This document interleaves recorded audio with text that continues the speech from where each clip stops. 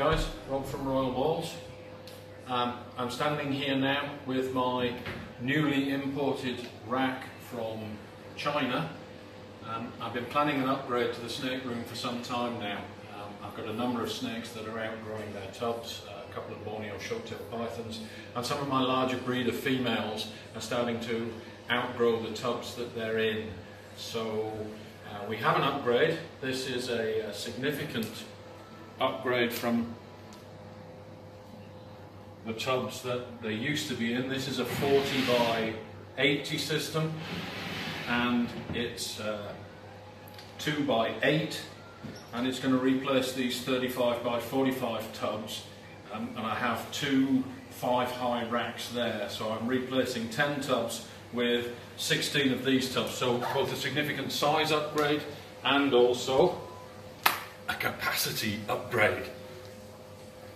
Um, there's plenty of videos out there about making your own racks and uh, some of the guys out there do an outstanding job if you have the patience um, and the skill you can make your own racks. I've tried and it's not for me. So obviously we can't import racks from the US out here in Malaysia. The, um, the shipping costs would be prohibitively expensive um, it would cost more to ship them than it, the, the, racks are actually worth. So, um, working with a friend of mine uh, who also breeds snakes, um, he highlighted for me a company in China that has just started to build uh, snake racks. These are probably a copy of something. I haven't seen any quite like this, um, but they are extremely good quality. And as I said, for us here in Malaysia, it represents a, uh, a significant um, uh, opportunity to, to bring some quality items in uh, from abroad. There are local manufacturers who are improving all the time, uh, but I thought I would try these racks here because it is uh, very professional. It's very sturdy, as you can see. Um, it's built of steel with quality fittings. It came flat packed and weighs 150 kilos. And each of the individual layers is, is built up separately, so you can add layers to these uh, racks as you, as you see fit. So I'm just building up the, the last layer. There are six of these very strong metal legs that just screw into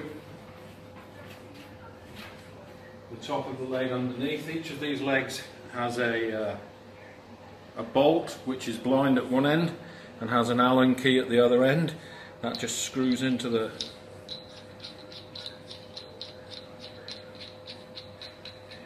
the top of that one which then screws into the top of this one. Nothing could be easier. So we just tighten those up onto the layer underneath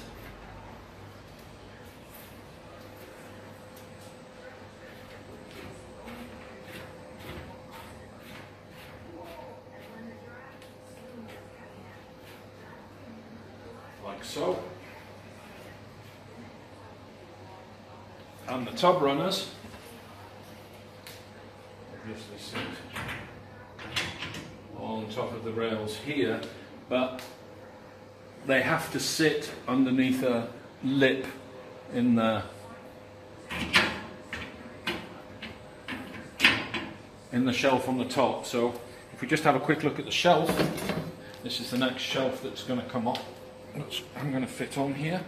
You can see it's, again, a quality item, half ventilated, and there are holes drilled in the top here, which I'm assuming are for fittings for heat mats, uh, which obviously I don't need here in the tropics. So I didn't order that. But in order to get these things on, single-handedly, I had to come up with a little dodge because these these do fit inside the the lip at the bottom.